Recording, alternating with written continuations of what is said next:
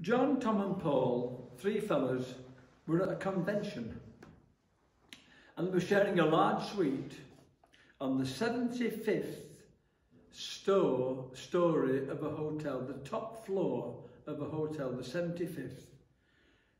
And after a long day of meetings, they were shocked to find that all the lifts were out of order. They would have to climb 75 flights of stairs to get to their suite. So John said to Tom and Paul, let's try to make this a little bit interesting and support each other as we climb the stairs. Let's make it interesting. I'll tell jokes for the first 25 flights. Tom will sing, you sing some songs for the next 25. And Paul, tell some sad stories for the last 25 flights. At the 26th floor, John stopped telling jokes and Tom began to sing. At the 75th, Tom stopped singing and Paul began to tell sad stories and said, I'll tell you the saddest story of all. I've left the room key in the car. Sadness is part and parcel of life. And today in the gospel, it's all about doubting Thomas. We're not quite sure about Thomas, but there's no doubt that Thomas wasn't in a good place emotionally. And it's very interesting that the disciples also weren't in a great place because in the gospel today, Jesus says to them three times, Peace be with you. So that suggests that they may have been a little bit uneasy and a bit unrestful, if you know what I mean. But Thomas certainly wasn't in a good place. He was confused and wasn't sure what was happening. To him, Jesus' friend was gone, and Thomas was grieving. And it was that sense of loss and grief that prevented him believing that Jesus had risen from the dead. But the important thing is this he didn't give up on Jesus or his friends, or as the Americans say, he hung in there to the best of his ability. He had enough faith to be able to do that.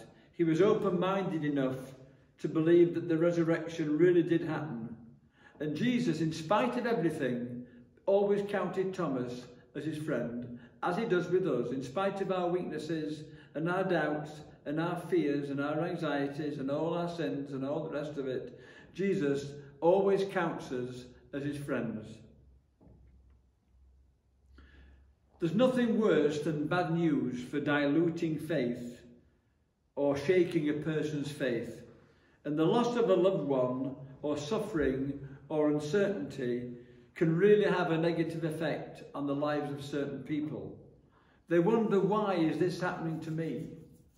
Why is God allowing this to happen? And that's a very, very significant question. But we don't have the answers to all the questions of life or the questions of faith. It's very easy to believe when things are going well. Sometimes not so easy when things are going bad. The Lord knows how tough life can be for each and every one of us.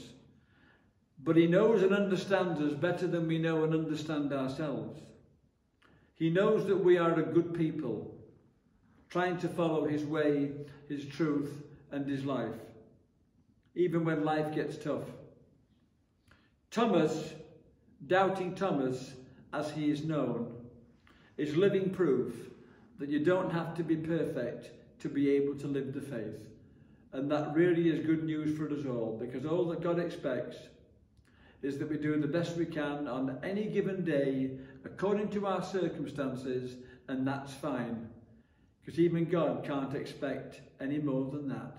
Because after all, we are, like Doubting Thomas, only human. Been feeling a bit uh, depressed recently. I went to the doctor last week he said, what's the matter, Father? I said, well, um, I'm depressed. He said, what's the matter? I said, um, I keep doing crosswords too quickly. He said, well, try not to get too down. Have a lovely day, everybody. Hope to see you all very, very soon. And don't forget, glory, glory, Man United.